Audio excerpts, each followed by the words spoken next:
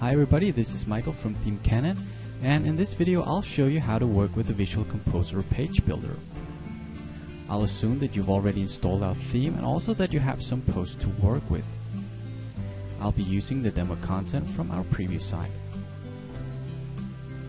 To illustrate how the page builder works, I'll start to build the front page from our preview site.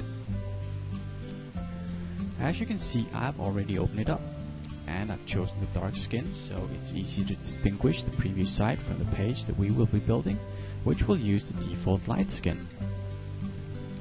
Okay, so let's get started. First let's create a new page. Go to Pages, Add New, enter a title,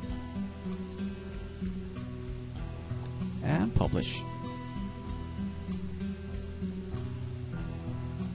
You now have an empty page, so let's tell WordPress to use this page as our new front page. Go to Settings, Reading, Front Page Displays, and for our static page, let's select the page we just created.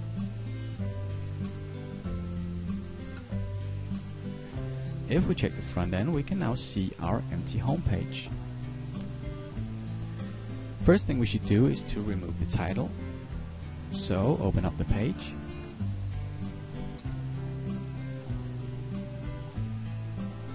And select Hide Title in the page settings. Save changes.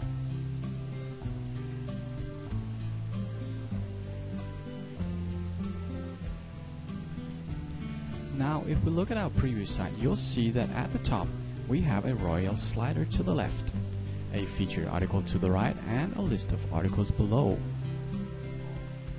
So let's go to our page editor. Click on the Visual Composer backend editor. Now add your first row.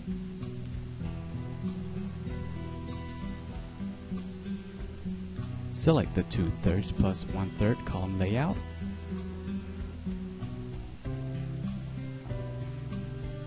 In the first column, add the scene new royal slider element. Select the slider. And save changes. In the second column, add a scene single post element.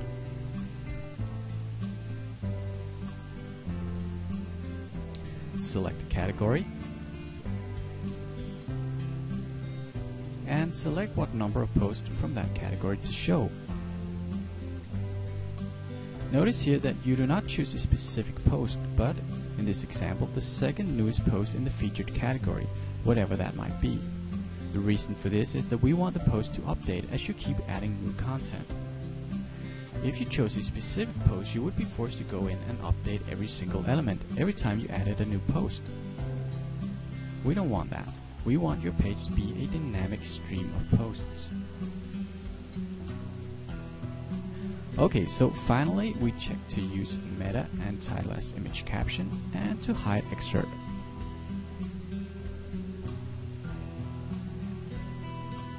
Below the single post element, we will add a scene posts listed element. Again, we will use the featured category Begin our list at post number 3 in the featured category and show 3 posts. Save changes and update.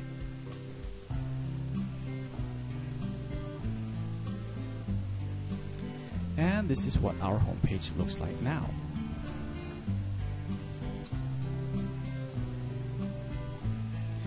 If we take a look at our previous site and scroll down, we can see that the next element on the page is a separator titled Latest in Fashion. And in the row below, a single post with title as caption, a single post with regular title and excerpt, and to the right a list of posts. Now let's go back to our own site and build that. First we add a new row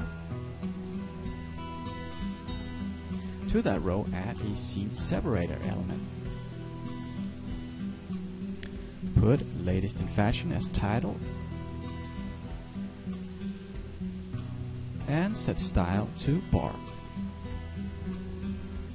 Add a link text and a link to your fashion category. And save. Now add one more row.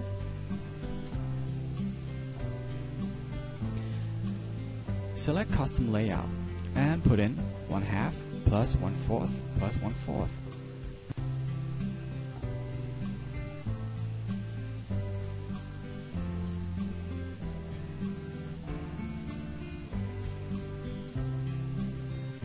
Alright, in the first column, put a single post element.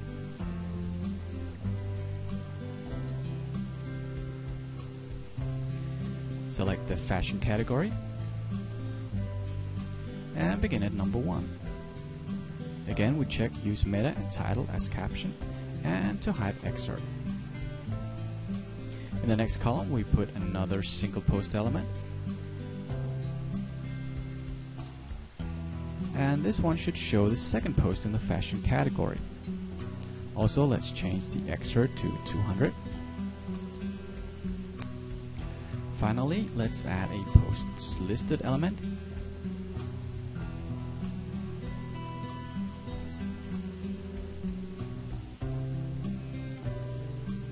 Let's show posts beginning with post number 3. Save and update.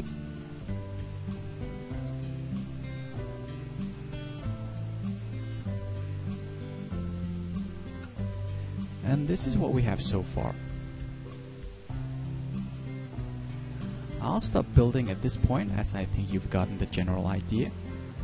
If you're unsure how do we build the rest of the homepage and you've imported our demo content, you can simply open up the Home 1 page or any other page and inspect how we've set up each element.